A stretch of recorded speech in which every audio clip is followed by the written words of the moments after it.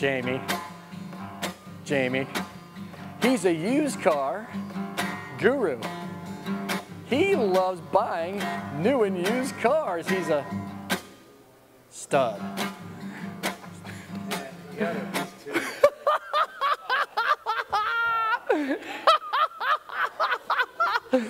That was pretty good. Everything about this is out of tune. Give me a J. Give me an A. Give me an I. Give me an M. All right, enough.